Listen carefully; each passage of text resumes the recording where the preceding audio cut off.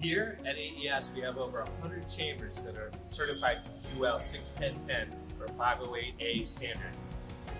We're the only test chamber manufacturer in the world that has all its temperature and humidity test chambers certified to one standard or the other.